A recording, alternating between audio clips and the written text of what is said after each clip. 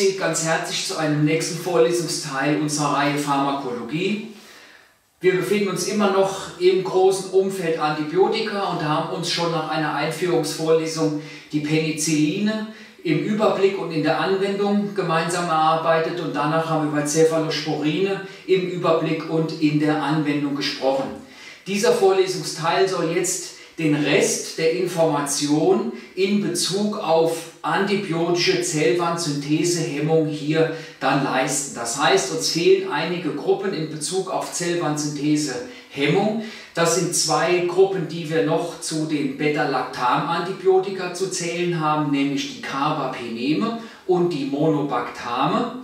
Und dann wird sich anschließen eine weitere Gruppe, die zwar funktionell mit der Zellwandsynthese interferiert, die aber jetzt nicht zu den Beta-Lactam-Antibiotika gehört und die neben ähm, der Hemmung der Transpeptidase, die ja durch Beta-Lactam-Antibiotika gewährleistet ist, einen völlig anderen Wirkmechanismus in der Peptidoglykanschicht hat und das sind die Glykopeptid-Antibiotika, die wir auch noch hier dann anschließen. Wichtig ist, dass wir mit der Gruppe der Carbapeneme und der Monobactame und der Glykopeptid-Antibiotika wichtige Reserveantibiotika hier entsprechend betrachten, sodass es eigentlich ganz sinnvoll ist, diese in diesem Vorlesungsteil den ursprünglichen Penicillinen und Cephalosporinen entgegenzustellen, die ja eigentlich mehr eine, ähm, für die tägliche angewandte Praxis hier geeignet sind. Und hier haben wir es also mit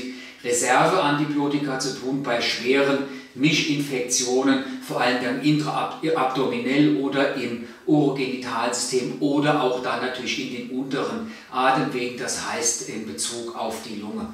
Und ganz am Schluss, um das vollständig zu machen, werden wir noch kurz sprechen über das Phosphomycin, das ebenfalls ein Zellwandsynthesehemmer ist, sogar effektiv und noch zahlreiche resistente Keime dann auch antibiotisch erfasst, sodass wir das also nicht ganz ohne Grund hier bei den Reserveantibiotika betrachten, ist aber trotzdem eine Substanz, die man auch bei, bei weniger schwerwiegenden ähm, Infektionen, wie zum Beispiel der unkomplizierten Zystitis einsetzt, sodass wir dann jetzt in diesem Film mit Carbapenemen, Monobactamen, Glykopeptid-Antibiotika und dem Phosphomycin dann unsere Betrachtung der Zellwandsynthese-Hämmer in Bezug auf antibiotische Therapie hier entsprechend ähm, beenden können und auch dann verlassen können. Nach diesen einführenden Worten starten wir gleich mit der ersten wichtigen Gruppe, die hier noch zu besprechen ist, und das sind die Carbapeneme.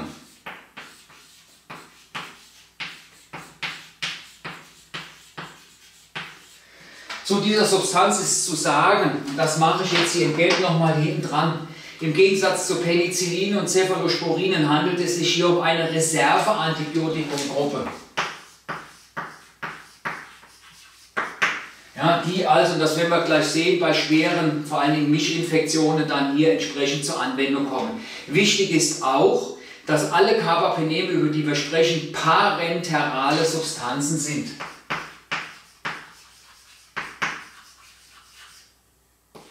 Das bedeutet, sie sind oral nicht bioverfügbar, das heißt, sie müssen unter Umgehung des First-Pass-Effektes dann in der Regel intravenös hier appliziert werden. So, jetzt machen wir dasselbe, wie wir das mit Penicillinen und Cephalosporinen gemacht haben. Wir schauen uns nochmal die Struktur an. Hier haben wir gesagt, ausgehend von unserer Penicillinstruktur, wo wir gesagt haben, das Haus des Nikolaus, unser entsprechendes Vierer-Ringsystem mit dem Sauerstoff, unserem Schwefel und dem Fünfer-Ringsystem, ja, wo wir dann gesagt haben, entsprechend kann das substituiert werden und unser Beta-Lactam-Ring, der sich hier öffnet, um die Transpeptidase entsprechend zu hemmen. Dieser Ring ist bei den Carbapenemen modifiziert. Und jetzt mache ich das ein bisschen anders. Das war vom Zeichen her einfach. Jetzt ist hier in diesem Ringsystem ist jetzt der Schwefel ersetzt durch ein Kohlenstoffatom. Das heißt, wir bekommen einen reinen Kohlenstoffring, einen Fünferring, sodass sich unsere Struktur folgendermaßen gestaltet.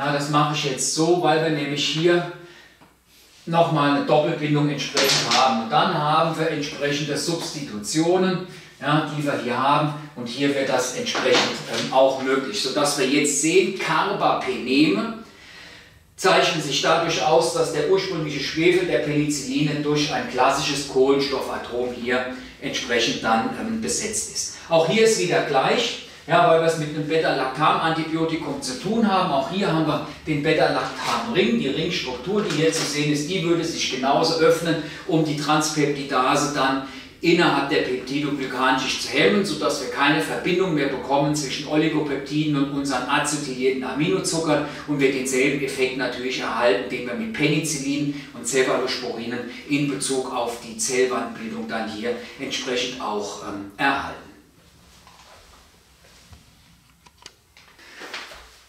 Wenn wir die jetzt betrachten, die Carbapeneme mit dem Blick als Reserveantibiotika, nennen wir erstmal die relevanten Substanzen und hier haben wir vier Stück, die wir uns merken sollten, die man nochmal unterteilen kann in Klasse 1 und Klasse 2 Carbapeneme. Dann fangen wir mal an mit der Gruppe 1. Hier würde gehören als erste Substanz das sogenannte Imipenem. Gleichzeitig würde hier hineingehören das Meropenem und das Doripenem. Und dann hätten wir die zweite Gruppe, die wir hier noch zu benennen hätten, und hier war eine Substanz, und das wäre das Ertapenem.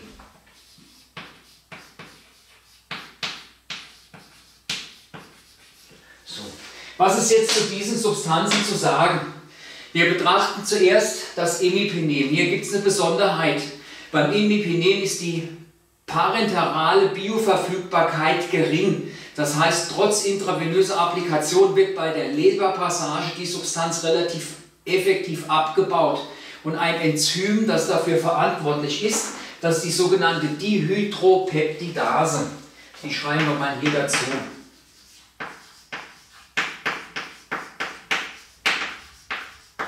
Das bedeutet also, um ausreichend hohe Plasmalevel zu gewährleisten, das heißt die Bioverfügbarkeit zu steigern, müssen wir einen Dihydropeptidase-Inhibitor hinzugeben.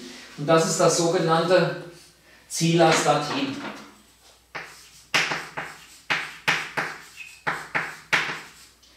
Ein Hämmer dieses Enzymsystems. Das bedeutet, in dieser Kombination erreichen wir ausreichend hohe Konzentration, das heißt die Bioverfügbarkeit ist ausreichend gewährleistet. Dies gilt nicht für diese ähm, Substanzen hier.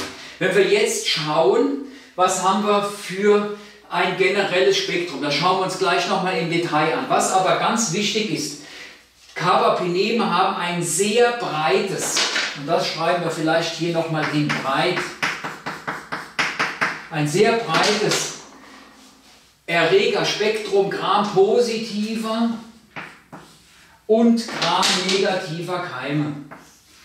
Ja, und dieses Spektrum ist so breit, ja, dass man aufgrund der vielen Keime, die erfasst werden, auch oft das Problem hat, dass wir auch ähm, dann eine Interferenz bekommen mit unserer physiologischen, mikrobiologischen Fauna, die dann verdrängt wird und dann Sekundärinfektionen erlaubt. Da sprechen wir nachher nochmal drüber. Auch das ist natürlich ein Indiz dafür, dass wir hier eine sehr gute und breite ähm, Wirksamkeit hier haben. Und zu diesen Gram-positiven und Gram-negativen Keimen kommen auch noch anaerobe Keime, Keime dazu, die in unserem Fall dann in der Regel ähm, äh, praktisch Gram-negativ sind. Deswegen schreibe ich das hier nochmal hin, sodass wir generell sagen können, Carbapeneme, Reserveantibiotika mit sehr breitem Gram-positiven, Gram-negativen Wirkspektrum plus Anaerobier und das schauen wir uns jetzt, wenn ich die Tafel sauber gemacht habe, nochmal ein kleines bisschen mehr im Detail an und kommen schon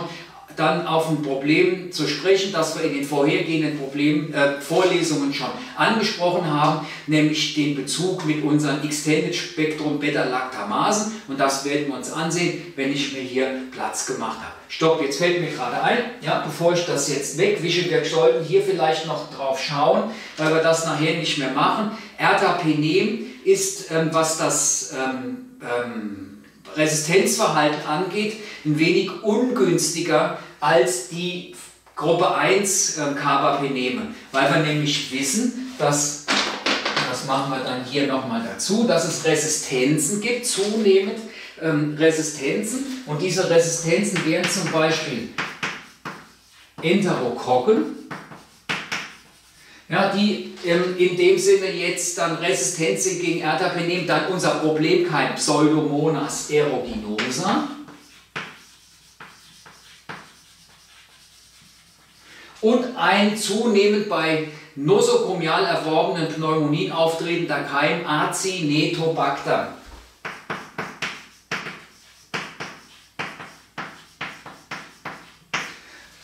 Die würden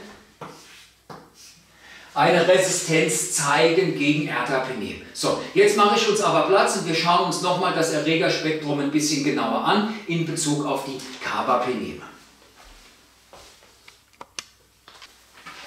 Was begründet ihre gute Wirksamkeit und klinische Bedeutung als Reserveantibiotika? Das breite Wirkspektrum, Gram-positiv, Gram-negativ bis hin in den anaeroben Bereich hinein. Wenn wir Gram-positiv anschauen, dann sehen wir Staphylokokken,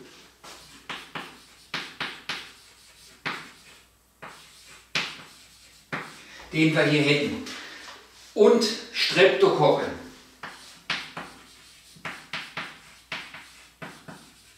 Das bedeutet also Staph aureus, Staphylococcus epidermidus, Saprophyticus haben wir überall schon drüber gesprochen, beziehungsweise Streptococcus pyogenes, Pneumoniae, die hier dazugehören. Und dann die erste Gruppe, ja, noch Enterokokken, die wir ja ausgeschlossen haben beim Ertapenem.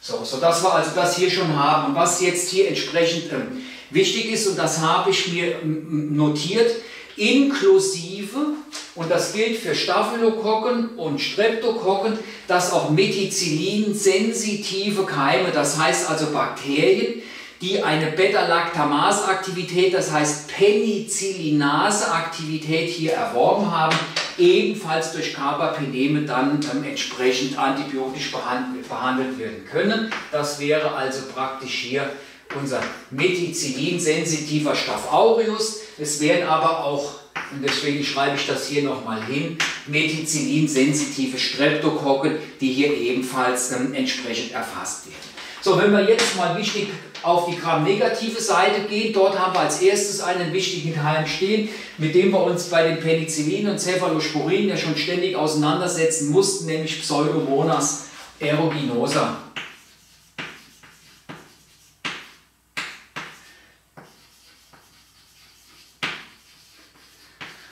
Ja, wo wir gesagt haben, in Bezug auf die Penicilline, hier brauchen wir mindestens ein Acylaminopenicillin mit Piperacillin. Bei den Cephalosporinen, wo wir gesagt haben, hier gibt es nur zwei Substanzen, mit denen wir interferieren können, Ceftazidin und Cefepim, also aus der dritten und vierten Generation. Hier geht das auch sehr gut mit ähm, entsprechend Carbapenemen. Und was wir dann haben, sind Vertreter der Enterobacteria 10. Ja, das mache ich jetzt hier nochmal in weiß drüber. Der Enterobacteria C. Und hier haben wir gesagt, hier haben wir eine Reihe von Problemkeimen, weil Enterobacteria 10 zunehmend ESBL-Aktivität erwerben, also Extended Spectrum Beta-Lactamase. Und da haben wir vor allen Dingen zwei Keime hier entsprechend genannt. Und das war nämlich einmal unser E. coli und das war Klebsiella und ich schreibe es hier nochmal drunter, Pneumoniae, wo wir gesagt haben, beide sind Enterobakterien, die relativ häufig schon ESBL-Aktivität besitzen, also Extended Spektrum Beta-Lactamase. Und das war hier jetzt nochmal wichtig, weil wenn wir nämlich das Extended Spektrum ähm, Beta-Lactamase dann ähm, aufgliedern in dem, was es bedeutet, und das machen wir gleich nochmal extra auf dem Tafelbild, haben wir gesagt, unter ESBL verlieren Penicilline, Cephalosporin und Monobactame ihre Wirksamkeit. Also drei Gruppen unserer Beta-Lactam-Antibiotika sind nutzlos. Und so wird klar, warum Carbapeneme die Aktivität behalten, hier so wichtig sind, weil nämlich sie als Reserveantibiotika Problemkeime wie Pseudomonas aeruginosa dann antibiotisch in Probleme bringen, beziehungsweise dann auch Enterobakterien, die sich eine ESBL-Resistenz hier ähm, entsprechend erworben haben. Und wenn wir jetzt zu den Anaeroben nochmal gehen, dann haben wir dort so Gattungen wie Bacteroides oder auch Fusobakterien. Ja, und jetzt habe ich hier die falsche Farbe genommen, um das nochmal abzusetzen. Das sind aber auch Gram-negative Stäbchen, ja, sodass wir also hier sehen, dass auch obligat anaerobe Bakterien durch Carbapeneme antibiotisch behandelt werden können. Und das zeigt uns nochmal, und das wird jetzt hier die wichtige Take-Home-Message, breite Wirk breites Wirkspektrum im Gram-positiven, Gram-negativen Bereich inklusive anaerobe Bakterien. So, und jetzt schauen wir uns das nochmal an in Bezug auf die anderen Beta-Lactam-Antibiotika, um nochmal klarzumachen, warum Carbapeneme einen so ho hohen therapeutischen Stellenwert besitzen. Betrachten wir die Aussage von eben nochmal, jetzt ganz explizit nochmal sichtbar an der Tafel. Carbapeneme als wichtige Reserve Antibiotika in Bezug auf die Gruppe der Beta-Lactam-Antibiotika. Hier haben wir gesagt, zu den Beta-Lactam-Antibiotika, das heißt den Substanzen, die über Lactamringöffnung die Transpeptidase in der Zellwand hemmen und damit die Peptidoglykanschichtbildung verhindern, haben wir Penicilline, Cephalosporine, Carbapeneme und die Gruppe der Monobactame, die jetzt in dieser Vorlesung danach noch zu besprechen ist. Was wir das aber, wenn wir das aber in Beziehung setzen zu unseren ESBL-Resistenzen, das heißt Extended Spektrum Beta-Lactamase, wo wir gesagt haben, hier haben wir vor allen Dingen Enterobacteriaceen wie Klebsiellen oder auch E. coli, die zunehmend sich diese Resistenzen erwerben. Dann bekommen wir das Problem, dass vormals sehr gut über Beta-Lactam-Antibiotika zu behandelnde Keime, ja, wie E. coli oder unter Umständen auch Klebsiellen, dann nicht mehr zugänglich sind, weil ESBL hier jetzt interferiert mit unserem Beta-Lactam bzw. der Penicillin-Ringstruktur, sodass wir jetzt sehen, von den Beta-Lactam-Antibiotika sind Penicilline, Cephalosporine und Monobactame ESBL-sensitiv. Das heißt, diese Keime können unsere Grundstruktur zerstören, die Wirksamkeit des Antibiotikums geht verloren.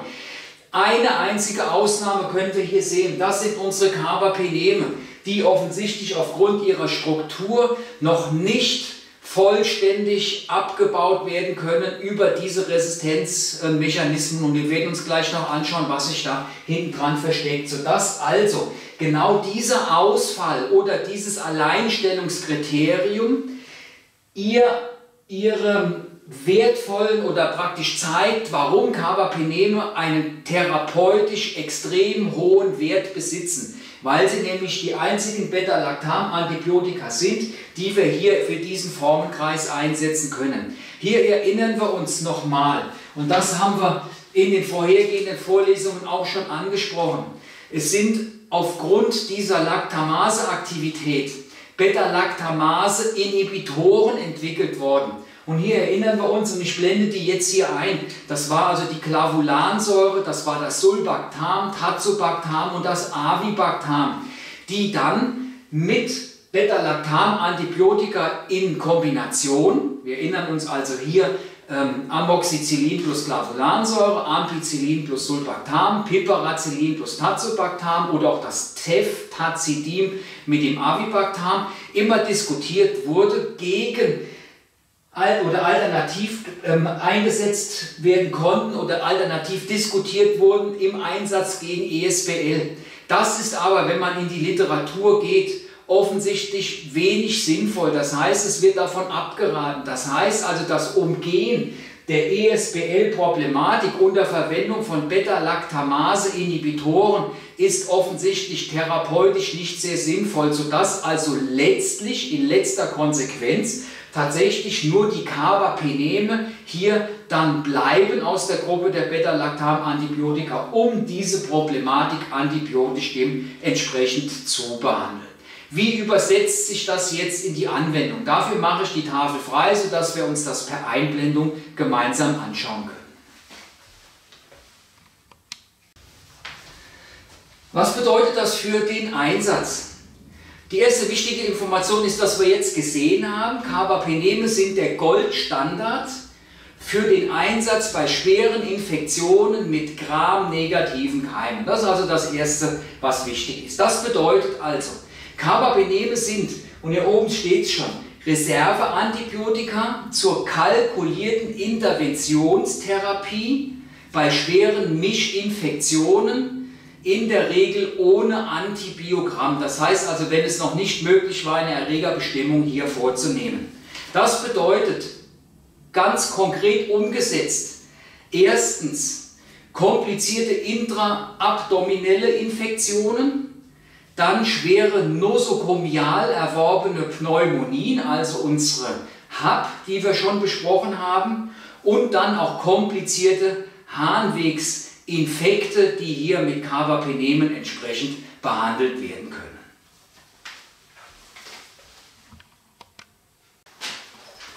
Was ist besonders zu beachten? Kave, Vorsicht! Bei Carbapeneme. Carbapeneme werden renal ausgeschieden und besitzen renale Toxizität, sind also nephrotoxisch. Das heißt Vorsicht bei Niereninsuffizienz. Das ist der renalen Ausscheidung der Substanzen hier geschuldet.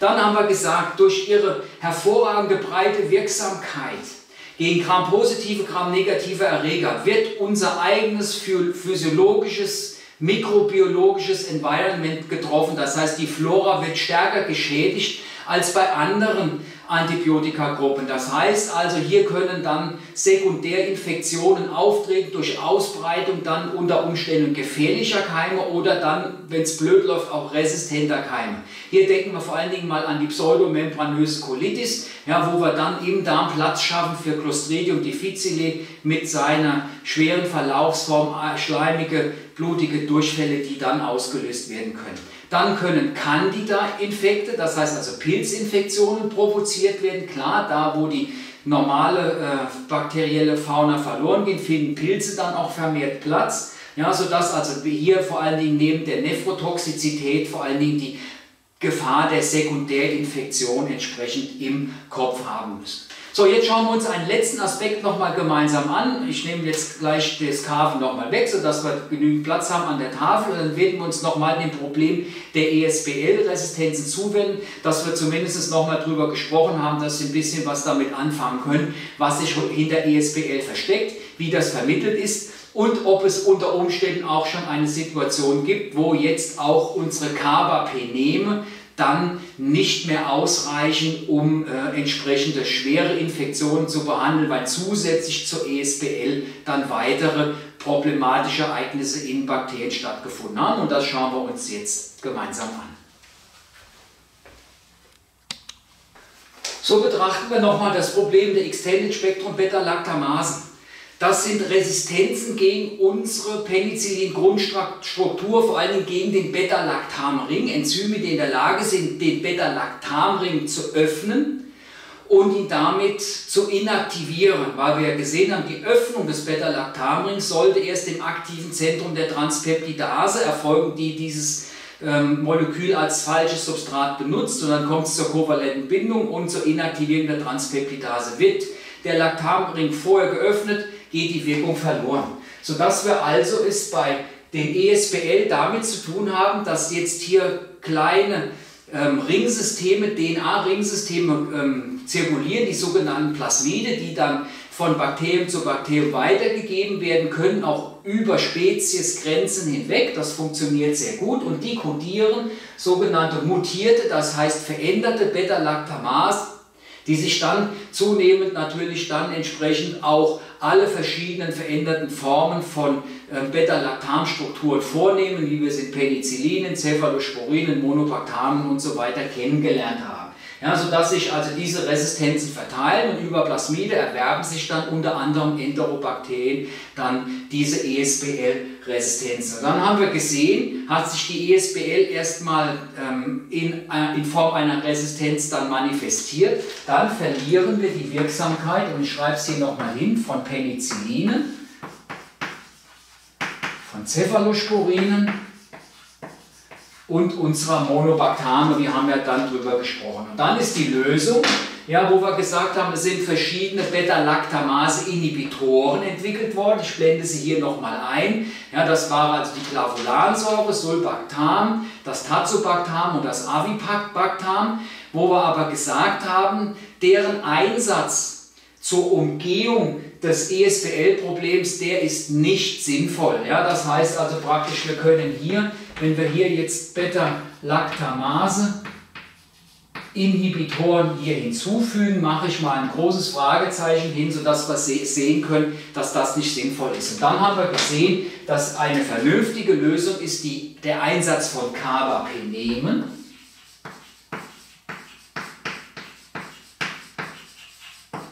Weil die, wie wir eben gesehen haben, noch ESBL stabil sind. So, und jetzt mache ich mir für einen letzten Aspekt nochmal die Tafel frei, weil jetzt werden wir sehen, dass wir etwas beobachten, was wir dann auch initial in der Einführungsvorlesung schon beobachtet haben, ja, als wir über den Methicillin-sensitiven Stoff aureus und dann über den Methicillin-resistenten Stoff aureus und dann über Vancomycin-resistenten Stoff aureus gesprochen haben, dass ähm, ähm, entsprechender Selektionsdruck durch Antibiotika dann zur entsprechenden Reaktion führt. Und das haben wir natürlich im Fall der Carbapeneme auch. Das heißt also, wir betrachten jetzt zunehmend das Erscheinen auch Carbapeneme resistenter Keime, sodass also dann, wenn selbst Carbapeneme ja, durch eine weitere Form von ESBL, nämlich Carbapenemasen, abgebaut werden können, dann sind wir plötzlich in einer Situation, wo kein einziges unserer Beta-Lactam-Antibiotika noch irgendeine äh, biologische Wirkung dann in diesen resistenten Keimen entfalten kann.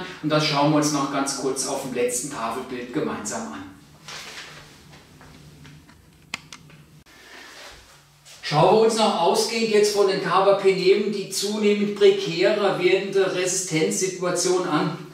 Jetzt haben wir gesagt, Carbapeneme immer noch zurzeit gut gegen ESBL-Keime. Jetzt beobachten wir aber den Zustand, dass zunehmend klinisch relevante Keime auch Carbapenem resistent werden, weil sie jetzt ebenfalls eine besondere Form der Beta-Lactamase exprimieren, die Carbapenemasen, die jetzt in der Lage sind, unsere Carbapenem-Grundstruktur zu öffnen und das Molekül wirkungslos werden zu lassen. Hierzu gehören alte Bekannte, die uns jetzt schon oft begegnet sind, nämlich Klebsiella pneumoniae, Escherichia coli, ja, klassischer Vertreter der Enterobakterien. Bei diesen beiden haben wir ja schon immer gesehen, die hatten die ESBL-Problematik ohnehin schon. Dann Pseudomonas aeruginosa, das heißt ein Problemkeim, den wir ohnehin schon relativ schwierig antibiotisch behandeln können. Wir erinnern uns nochmal Piperacillin, Acetaminophenicilline oder dann Ceftazidin, Cefepim, also schwierig.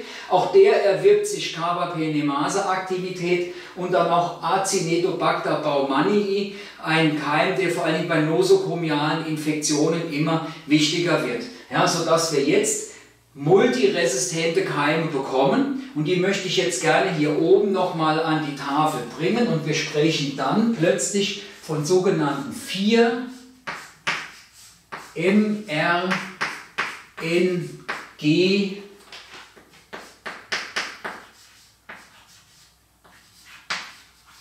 Erregern. Und auch das blende ich ein. Was versteckt sich hinter 4 mRNG? Das ist ganz einfach. Das heißt also 4, das heißt 4 Resistenzen, vierfach multiresistente. Und jetzt habe ich es natürlich wieder genau falsch rum, aber ich korrigiere das jetzt. Sehen Sie es mir nach.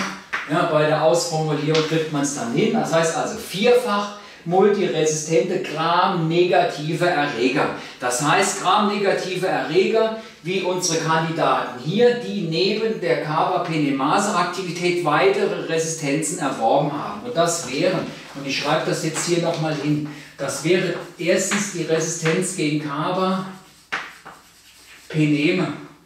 Dann hätten wir zweitens die Resistenz gegen Fluor. Chinolone, eine Gruppe ganz wichtig, die wir auch noch zu besprechen haben. Dann drittens eine Resistenz gegen Piperacillin, ja, das wir immer hatten, wenn wir über Pseudomonas hier entsprechend dann gesprochen haben. Und gegen eine ganz wichtige weitere Gruppe, nämlich Cephalosporine, und zwar der dritten Generation. Und die haben wir, wenn Sie sich erinnern mögen, an unsere Anwendungsvorlesung Cephalosporine, ja ganz häufig vor allem mit ganz wichtigen Vertretern wie äh, Cefotaxim oder Ceftriaxon, die ja bei schweren Infektionen dann auch schon eingesetzt werden. Sodass wir jetzt sehen, dass zu den Carbapenem Resistenzen, weitere Resistenzen dazukommen und dann sprechen wir, wie gesagt, von den vierfach multiresistenten Gram-negativen Erregern. Und jetzt stehen wir da und jetzt gucken wir da drauf und sagen wir, oh, das ist jetzt aber ganz schön blöd. Ja, das ist ganz schön, ich sage es jetzt mal drastisch beschissen, weil unsere Penicillin, also unsere Beta-Lactam-Antibiotika in kompletter Form nicht mehr wirken. Penicilline, Cephalosporine, Carbapeneme, Monobactame sind hier wirkungslos geworden. Fluorchinolone, unser stärkstes wirksames ähm, Acylamino. Ähm, ähm, Penicillin wirkt nicht mehr, Cephalosporine der dritten Generation wirken nicht mehr. Was machen wir? Und dafür schauen wir uns das vielleicht hier noch auf der Seite an. Das heißt also, was bleiben uns jetzt für Lösungen zur Behandlung dieser multiresistenten Gram-negativen Keime? Und die erste Lösung, die hier zu nennen wäre, das wäre das Cholistin. So, Cholistin ist ebenfalls eine Substanz, die mit Zellwandsynthese interferiert, aber auch nicht über Transpeptidase, noch nicht wie die Glykopeptid-Antibiotika, Cholistin wird auch bezeichnet als Polymyxin E.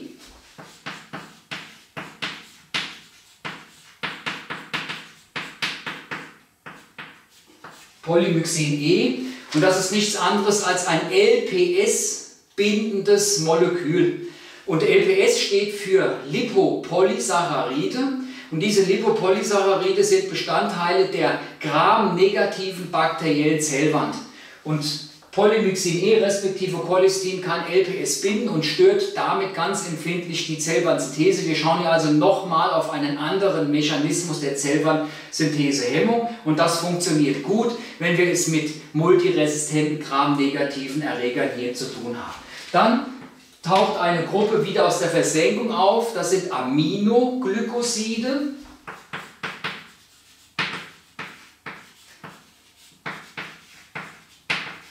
Die eine Lösung bilden können, weil sie Protein-Biosynthesehemmer sind, also jetzt einen ganz anderen Angriffspunkt ähm, hier letztendlich besitzen und die erleben in dem Sinne ein Stückchen hier dann ein Revival. Dann haben wir eine ganz wichtige Substanz, das ist ein Tetrazyklin-Derivat und zwar das TG-Zyklin.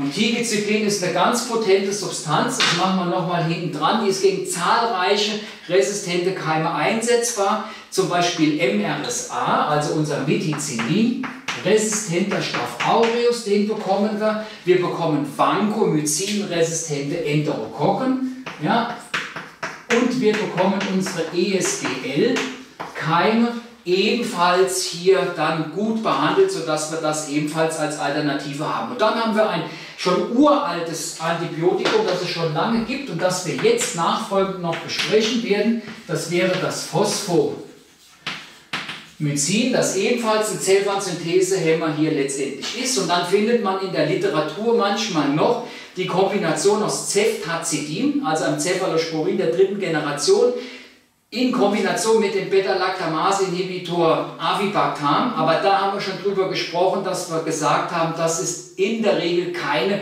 gute Lösung, sodass wir auf die vier noch äh, möglichen Lösungen oder vier wichtige gute Lösungen hier im Schauen zur Behandlung von vierfach multiresistent gram-negativen ähm, Erregern. So, damit hätten wir die Carbapeneme besprochen, hätten ihren hohen therapeutischen Wert herausgestellt haben klargestellt, ja, dass vor allen Dingen schwere Mischinfektionen dann behandelt werden können, weil sie ein breites Spektrum Gram-positiver, Gram-negativer Erreger plus Anaerobe abdecken und dass zunehmend jetzt auch Carbapeneme ähm, Resistenzen zu beobachten sind, die wir jetzt funktionell geklärt haben und wo wir auch entsprechende Alternativen hier gemeinsam betrachtet haben. Damit hätten wir eigentlich die Carbapeneme abgehandelt und wir können uns dann jetzt der nächsten Gruppe zuwenden und das wären ähm, die Monobactame.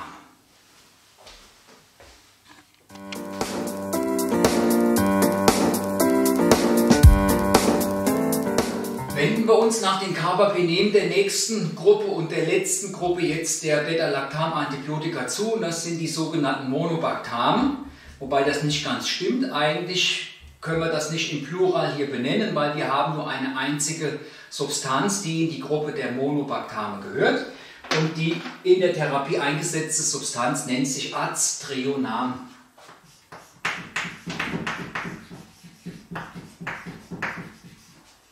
Auch hier gilt wieder, Monobactame sind Reserveantibiotika. Wir werden gleich sehen, wofür man sie einsetzt. Und auch hier ist keine orale Applikation möglich, sodass es sich auch hier um parenteral zu applizierende Substanzen handelt. Das erste, was wir jetzt wieder machen, wir schauen uns die Grundstruktur an der Monobactame, also hier des Aztrionams und hier ist der Beta-Lactam-Ring stark modifiziert.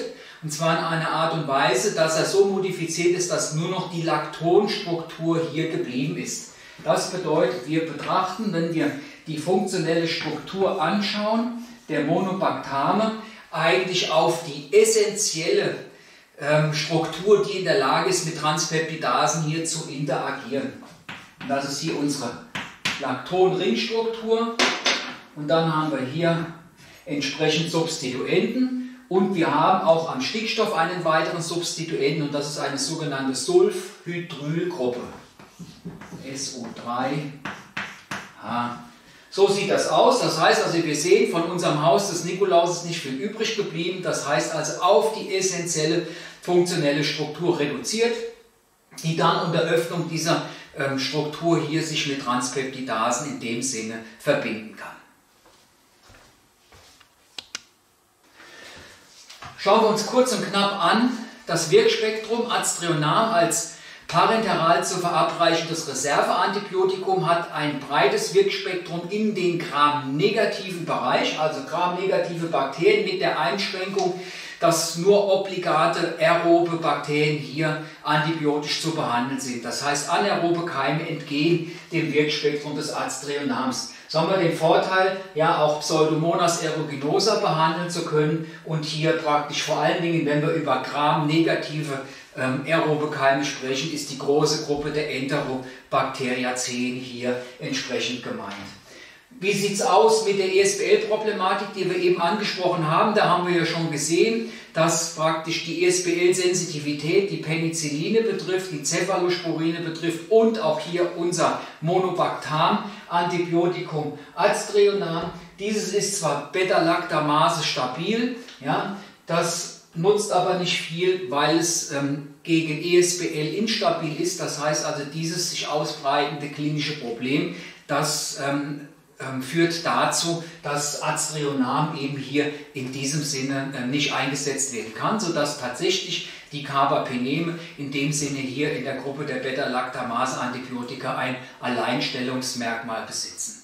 So, jetzt mache ich uns die Tafel nochmal frei und dann werden wir uns die fehlende Information, die wir noch brauchen zum Aztrionam, wieder als Einblendung an der Tafel gemeinsam anschauen. Ich habe die fehlende Information hier jetzt nochmal auf meinem Zettel. Das heißt also, Aztreonam als Monobactam ist wirksam gegen fast alle gramnegativen aeroben Keime inklusive Enterobakterien und auch ähm, Pseudomonas. Wofür setzen wir Monobactame ein? Und hier haben wir erstens wäre eine mögliche Anwendung bei der, äh, beim Einsatz bei Infektionen des Darmes, also Darminfektionen und hier in Verbindung mit, mit dem äh, Metronidazol, das vor allen Dingen im anaeroben Bereich dann ähm, seine Wirkung unter reduzierenden Bedingungen entfaltet, in Kombination, also Darminfekte, Infektionen des Bauchraums. Dann zweitens haben wir ein Reserve-Antibiotikum mit dem Aztrionam bei Infektionen der Harnwege und mit Clindamycin als Kombination bei gynäkologischen Infektionen. Also das kann man in den Leitlinien und auch in den Lehrbüchern finden. Jetzt kommen wir aber zur Hauptanwendung, das heißt Aztrionam findet ähm, hauptsächlich Anwendung in der Behandlung der zystischen Fibrose, das heißt in Verbindung mit Mukoviszidose. Und hier geht es darum, eben einfach eine oft auftretende chronische Pneumonie unter ähm, Pseudomonas aeruginosa antibiotisch zu kontrollieren. Und dann appliziert man das Aztreonam per Vernebler, das heißt also praktisch, wird nicht parenteral, sondern durch Einatmen über einen Vernebler dementsprechend appliziert. Und diese ähm, über einen Vernebler gegebene Aztreonam ähm, ähm, Zufuhr in äh, praktisch die Lunge ist die Hauptanwendung in der Behandlung von chronischen Pneumonien in Verbindung mit Mukoviszidose.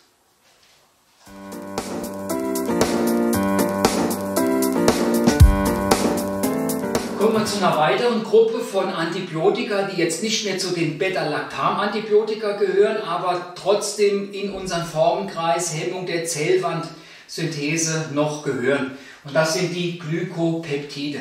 Bei den Glykopeptid-Antibiotika handelt es sich ebenfalls um Reserveantibiotika, vor allen Dingen dann auch ähm, zur Behandlung vor allen Dingen oder ausschließlich Gram-positiver Problemkeime und das werden wir gleich anschauen, warum. Die zur Verfügung stehenden Substanzen sind ebenfalls nur parenteral entsprechend ähm, verfügbar, das heißt unter Umgehung des First-Pass-Effektes. Ja, man kann sie aber auch oral geben und diesen Aspekt, den schauen wir uns dann gleich nochmal an, wie man hier eine Null-Bioverfügbarkeit dann trotzdem sehr schön therapeutisch nutzen kann. Was haben wir für Substanzen? Die erste Substanz wäre das Vancomycin. Und die zweite Substanz wäre das Teicoplanin. Beide Substanzen müssen parenteral appliziert werden, unterscheiden sich dann aber in ihrer Halbwertszeit. Die ist für das Vancomycin relativ kurz. Hier haben wir eine Eliminationshalbwertszeit von ungefähr 5 Stunden, wenn Teicoplanin sehr viel länger wirksam ist, weil es eine hohe Plasma-Eiweißbindung macht. Das heißt, ein Depot im Blut wird gebildet nach parenteraler Applikation, sodass wir praktisch über 30 Stunden Halbwertszeit haben. Also hier unterscheiden sich beide äh, Substanzen schon in ihrer ähm, Eliminationshalbwertszeit, das heißt praktisch gesehen in der Wirkdauer. So, jetzt müssen wir uns als nächstes anschauen, wie Glykopeptide wirken und wie es sich erklärt, warum Glykopeptide nur gegen Gram-positive Bakterien eingesetzt werden können. Und hier können Sie sich wahrscheinlich schon denken, weil das haben wir uns ja in den ersten Vorlesungen ja schon erarbeitet, wo wir die Unterschiede herausgearbeitet haben zwischen der Zellwand von Gram-positiven und Gram-negativen Keimen. Und das müssen wir jetzt nochmal bemühen, um zu verstehen, warum eben unsere Reserveantibiotika, die Glykopeptide, nur gegen Gram-positive Keime einsetzbar sind. Und das werden wir machen, indem wir zuerst uns mal anschauen, die komplexe Struktur eines Glykopeptid-Antibiotikums, dass wir mal eine Vorstellung bekommen. Und dann wird das natürlich sofort direkt klar, warum natürlich nur Gram-positive Bakterien hier entsprechend antibiotisch betroffen sind. Dafür nehme ich jetzt die Information von der Tafel weg und wir schauen uns mal die Strukturformel des Vancomycins an. Betrachten wir mal gemeinsam hier das Vancomycin.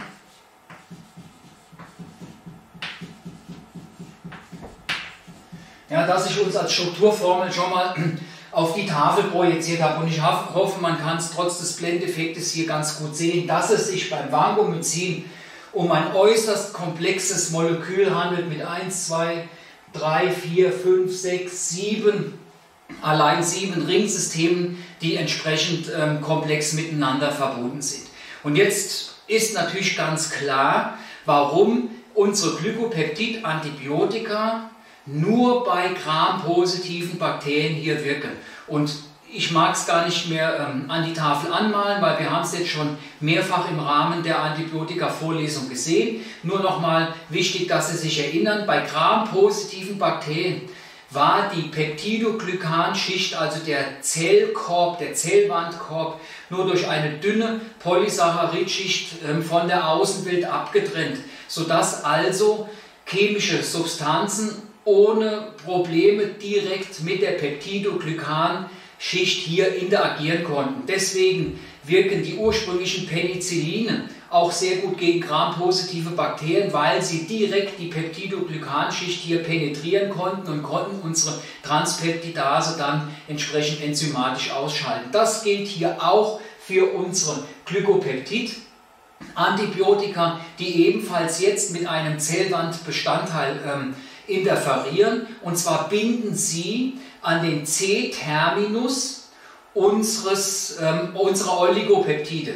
Ja, wenn Sie sich ähm, praktisch hier ähm, ähm, erinnern mögen, wo wir ähm, gesagt haben, dass diese Oligopeptide dazu gebraucht werden, um unsere acetylierten Aminozucker, nämlich N-Acetylmoraminsäure und N-Acetylglucosamin, unter enzymatischer Aktivität der Transpeptidase miteinander zu verknüpfen und so einen stabilen Zellkorb hier ähm, praktisch ähm, entstehen lassen. Und dieser Effekt wird durch Glykopeptid-Antibiotika aufgehoben.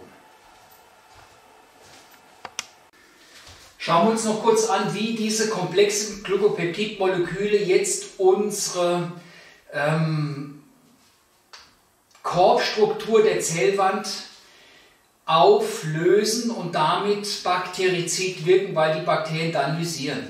Wir haben gesehen, Penicilline machen das, indem unser Laktonring öffnet und die Beta-Lactam-Struktur des Penicillins anhängt an die sogenannte Transpeptidase, deren Aufgabe es war, unsere acetylierten Aminozucker, nämlich N-Acetylmoraminsäure und N-Acetylglucosamin miteinander zu einem Korb zu verknüpfen. Das läuft hier anders, weil die Transpeptidase ist raus. Die ist hier nicht das Zielmolekül, sondern die Oligopeptide selbst sind das, sind das Zielmolekül. Und wie es der Name schon sagt, als Oligopeptid, als kleine Aminosäurekette, muss natürlich unsere Oligopeptid einen sogenannten Aminoterminus besitzen, also ein N-terminales Ende und entsprechend einen Carboxyterminus, das heißt ein C-terminales Ende besitzen, per Definition, weil alle Peptide, Proteine genauso ähm, entsprechend aufgebaut sind. Und was jetzt unser Glykopeptid-Antibiotikum macht, und da bleiben wir mal bei der roten Farbe, das hängt sich jetzt ans C-terminale Ende der Oligopeptide. Und Sie haben ja gesehen, was es für ein riesiges Molekül ist. Ja, das heißt also, unser, macht das jetzt mal vielleicht so, ja, das heißt also, unser Glykopeptid-Antibiotikum mit seiner äh, Struktur von mindestens sieben Ringsystemen wird sich verbinden mit dem C-Terminus des Oligopeptids und dementsprechend steht der C-Terminus nicht mehr zur Verfügung für die Verknüpfung, weil wir sehen ja, wir brauchen C- und N-Terminus für eine entsprechende Verknüpfung unserer acetylierten Aminozucker. Das heißt, ein Ende bleibt frei, das heißt, die Korbstruktur, die geht entsprechend verloren. Der ähm, Korb, die Korbstruktur, die Zellwandstruktur, die Peptidoglykanstruktur wird zunehmend instabil und die Bakterien können hier ähm, entsprechend lysieren, sodass wir jetzt sehen, dass es natürlich klar ist, warum nur grampositive Keime jetzt mit dem Vancomycin oder ähm, ähm, sensitiv sind gegen das Vancomycin. Dieses große Molekül kann direkt mit der Peptidoglykanschicht interagieren und kann sich an das C-terminale Ende der Oligopeptide anheften und somit die auf den Aufbau des Peptidoglykankorbs also komplett nicht enzymatisch dann entsprechend aufheben. Und andersherum sehen, warum wir natürlich keine Gram-negativen Keime bekommen. Das riesige, große, komplexe Molekül kann eben nicht die Phospholipid-Biomembran passieren, die über der Peptidoglykan-Zellwand liegt, sodass gramnegative ähm, Bakterien völlig insensitiv sind gegen unsere Glykopeptid-Antibiotika. Jetzt betrachten wir das nochmal ganz kurz, wie wir das auch eben gemacht haben für ESBL unter dem Aspekt der Resistenz. Und dafür mache ich uns gerade Platz auf der Tafel und dann schauen wir, da wagen wir da nochmal einen Blick drauf, weil das ganz interessant ist äh, auch nochmal hier gemeinsam zu besprechen. Diese interessante Wirkweise, das heißt also praktisch die sterische Inaktivierung unserer Oligopeptide am C-Terminus und damit Auflösung der Korbstruktur, führt dazu, dass das Spektrum der Glykopeptid-Antibiotika definitiv auf den Gram-positiven Bereich beschränkt bleibt, haben wir gerade uns klar gemacht, warum.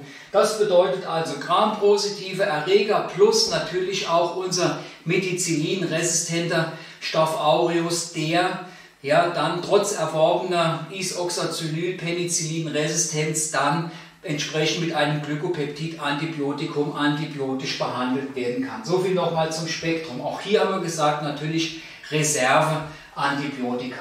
Dann haben wir gesehen, in unserer ersten Vorlesung bei Penicillin hat sich das angedeutet, dass wir natürlich Resistenzprobleme haben. Das haben wir auch eben äh, weiter ausbreiten können über die Beta-Lactam-Antibiotika hinweg, ja, mit, den mit der ESBL-Problematik.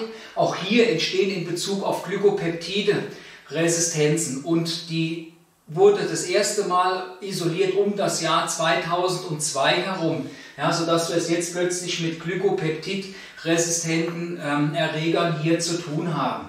Und das liegt einfach daran, dass die Bakterien auf die Glykopeptidbehandlung antworten, indem sie ganz einfach ihre Oligopeptide modifizieren. Ja, das heißt also, der C-Terminus des Oligopeptids wird verändert. Und zwar findet dort ein Aminosäureaustausch statt.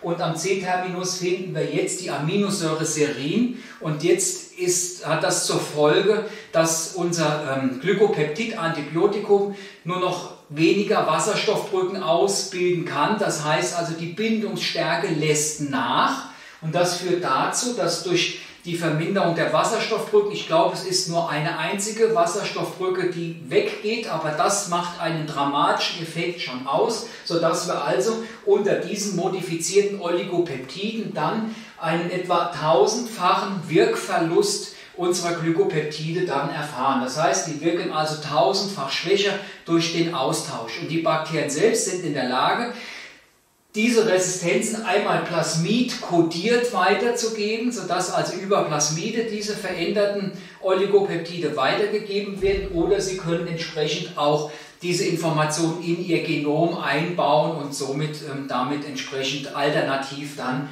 unter antibiotischen Druck zur Verfügung haben. Das führt jetzt dazu, dass die Veränderung der Oligopeptide Glykopeptid-resistente Keime hervorbringt. Die hat man zuerst bezeichnet ja, als Vancomycin-resistente Enterokokken, weil man das ähm, praktisch diesen Effekt gesehen hat nach Vancomycin-Therapie. Das gilt aber genauso für unser länger wirksames Teigoplanin, sodass wir eigentlich korrekterweise nicht auf einen isolierten Vancomycin-Effekt schauen. Ja, und deswegen von Vancomycin-resistenten Enterokokken hier sprechen sollten, sondern wir könnten es genereller, korrekter bezeichnen als GRE, das heißt Glykopeptid-resistente Enterokokken, weil beide ähm, ähm, ähm, Vancomycin und Teigoplanin beide hier entsprechend ähm, ähm, die Wirkung umgangen wird.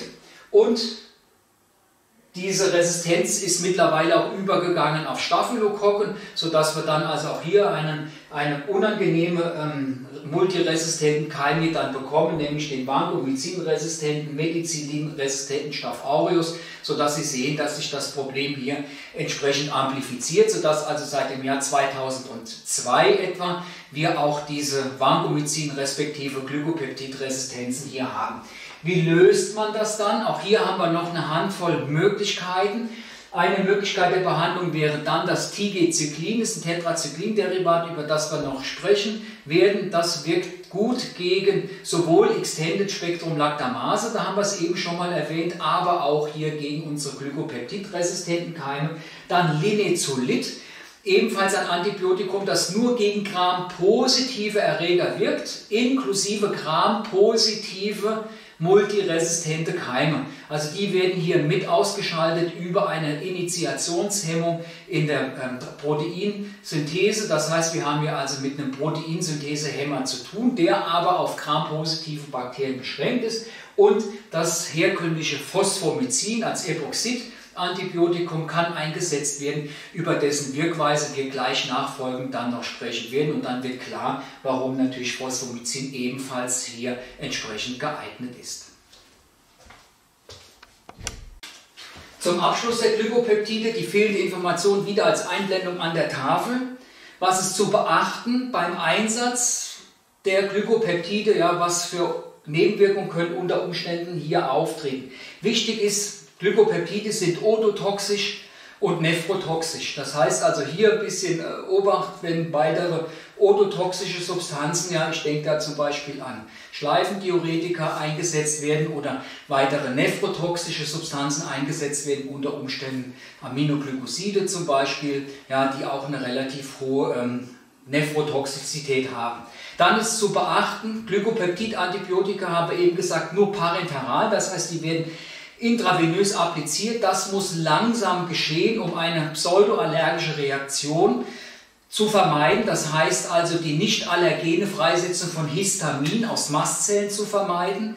Infundiert man zu, zu schnell, kommt es zu einer Histaminfreisetzung, das heißt zu einer Red-Man-Symptomatik, das heißt Exantheme, ja, Ödeme, die sich bilden, unter Umständen dann auch mit einer massiven Blutgefäßdilatation durch das Histamin und damit einem Blutdruckabfall, eine orthostatische Hypotonie, die entsprechend ausgelöst werden kann. Gleichzeitig kann man eine Phlebitis dann hier ebenfalls auslösen, das heißt also hier eine Entzündungsreaktion unserer ähm, oder praktisch des Endothels unserer Venen.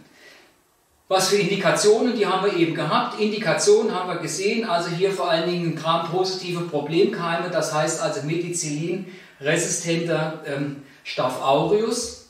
Ja, und dann ganz interessant hier ähm, kann man jetzt die geringe Bioverfügbarkeit der Glykopeptide nochmal nutzen. Ja, nach oraler Gabe ist die Bioverfügbarkeit null, weil der Darmbereich, oder das kann nicht, wird nicht resorbiert, der Darmbereich kann nicht verlassen werden. Deswegen sind diese Substanzen idealerweise geeignet, um eine pseudomembranöse Colitis hier zu behandeln. Also eine unter Umständen Antibiotika induzierte Durchfallerkrankung ja, mit blutig-schleimigen Durchfällen ausgelöst durch Clostridium difficile und Clostridium difficile als Gram-positives obligat anaerobes Stäbchen. Wir erinnern uns an die Penicillin-Vorlesung, also den ersten Vorlesungsteil.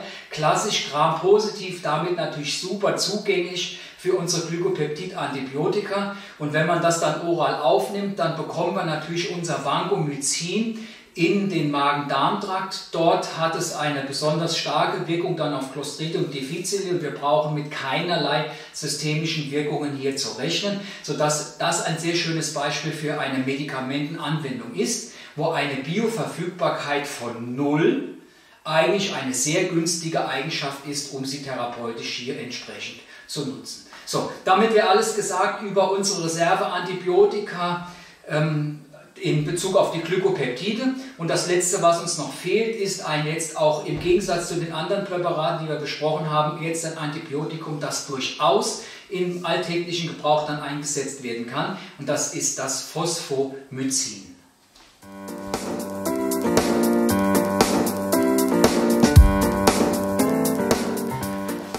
Kommen wir zum Ende der Vorlesung zur letzten Substanz, die dann auch unsere Betrachtungen der antibiotischen Intervention in Bezug auf Zellwandsynthese dann bildet. Phosphomycin. Einerseits ein in Anführungszeichen allerwelts Antibiotikum, oft benutzt zur Behandlung der unkomplizierten Cystitis, das schauen wir uns gleich an. Auf der anderen Seite aber auch ein ganz wichtiges ja, ich sage es einfach mal, Reserveantibiotikum, weil auch resistente, schwer zu behandelnde Keime mit Phosphomycin hier behandelt werden können. Dazu schauen wir uns erstmal an, was das ist. Phosphomycin ist ein Epoxid-Antibiotikum.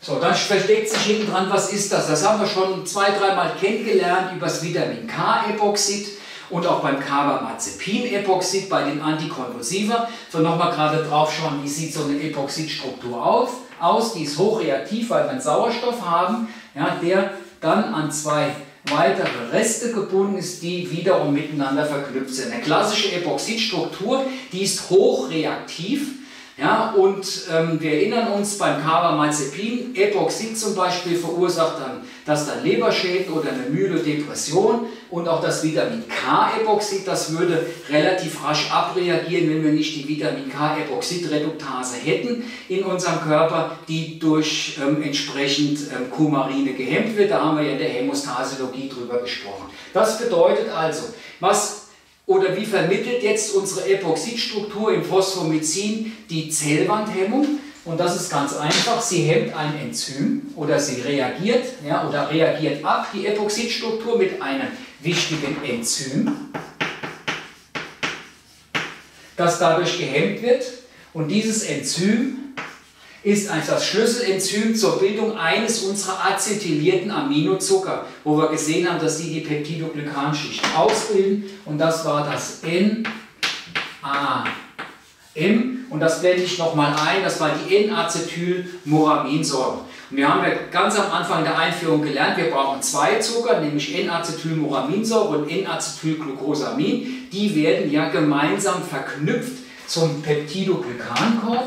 Ja, wir erinnern uns, NAM und NAG. Und das machen wir hier nochmal unten drunter und machen so einen kleinen Ausschnitt nach, wurden dann über Oligopeptide, die ich jetzt in Rot anzeichne, hier miteinander verknüpft, sodass eine Korbstruktur entsteht, dass wenn unsere Oligopeptide und das Enzym, das das macht, war die Transpeptidasen, sodass wir nochmal ein ganz neues Zellwand hemmendes Prinzip kennenlernen. Die Penicilline haben die Transpeptidase gehemmt, die diese Verknüpfung hier macht. Unsere Glykopeptide haben die Oligopeptide modifiziert, sodass nichts mehr geht. Und unser Phosphomycin führt jetzt dazu, dass praktisch die N-Acetylmoraminsäure nicht mehr zur Verfügung steht, sodass das ebenfalls dann die Zellwaldsynthese hier entsprechend aufhebt. Was haben wir für entsprechende ähm, Keim- oder Erregerspektrum? Und dann fangen wir mal an. Ähm, und nennen ein paar Gramm positive Keime. Das heißt also, wirkt gegen, gut gegen Staphylokokken und wirkt auch sehr gut gegen Streptokokken. Und dann haben wir auch ein breites Spektrum Gramm negativ. So, ich habe mal ein paar rausgeschrieben. Das wären also Keime wie Hämophilus, Influenzae, E. coli würde gehen, dann hätten wir hier Citrobacter, würde hier dazugehören dann Proteus mirabilis und wir hätten auch Neisserien. Also Neisseria meningitidis oder Gonorrhoe. Sodass wir also sehen, dass wir ein recht respektables Spektrum Gram-positiver und Gram-negativer Keime hier entsprechend dann haben. Und dann ist jetzt nochmal wichtig, Hierzu kommen auch resistente Keime. Das bedeutet also, das machen wir vielleicht in Geld dazu, plus Methicillin-resistenter Staph aureus, ja, der über Phosphomycin behandelt werden kann, plus Vancomycin-resistente Enterokokken, die hier äh, behandelt werden können und auch plus, und eben haben wir es gehabt, also praktisch ESBL, ja, wäre auch eine ähm, weitere Möglichkeit, die hier dazukommen, ja, inklusive unserer Carbapedimase ähm, enthaltenen neuen Resistenzen, die behandelt werden können, sodass wir also sehen, dass das Phosphomycin eigentlich eine, eine sehr wertvolle antibiotische Substanz hier darstellt. So, betrachten wir jetzt noch am Schluss gemeinsam zwei weitere Aspekte, nämlich einmal eine Kurzzusammenfassung des Phosphomycins und dann schauen wir noch kurz auf die Nebenwirkungen. Hier haben wir gesehen, Phosphomycin, Epoxid-Antibiotikum, hemmt das Schlüsselenzym zur Synthese der N-Acetylmoraminsäure. Dann, Phosphomycin wird in der Regel parenteral appliziert. Es gibt aber dann für die Behandlung der unkomplizierten Zystitis bei Frauen, das heißt unkomplizierte Harnblasenentzündung, auch eine ähm, orale Formulierung und das ist das ähm, Phosphomycin Dromethanol, das dann auch oral entsprechend hier verfügbar ist. Dann ist immer wichtig, dass man aufpassen muss bei der parenteralen Applikation. Das ist als eine Salzformulierung, da ist viel Natrium drin, kann zu einer funktionellen Dekompensation führen. Das heißt also immer Vorsicht dann ähm, in Bezug auf Herzinsuffizienz. Und dann mache ich den letzten Punkt, und wir schauen nochmal auf Nebenwirkungen des Phosphomycins, hier ist einmal zu beachten eine geringe Hepatotoxizität mit transientem Transaminasenanstieg. Kopfschmerzen können auftreten, auf der Haut kann ein Exanthem auftreten, durch die parenterale Zufuhr kann auch eine Phlebitis unter Umständen dann ähm, hier resultieren und ähm, auch hier nochmal als letzter Punkt immer Achtung mit der, De äh, mit der funktionellen Dekompensation in Bezug auf eine eingeschränkte Herzleistung. So, damit wären wir jetzt auch mit unserem letzten Vorlesungsteil durch und wir haben uns ganz tapfer durch die Zellwandsynthese-Hämmer gearbeitet. Ich hoffe, Sie ähm, haben ein bisschen Freude gehabt, ähm, die Daten anzuschauen. Ich selbst sage auf Wiedersehen und bis zum nächsten Mal.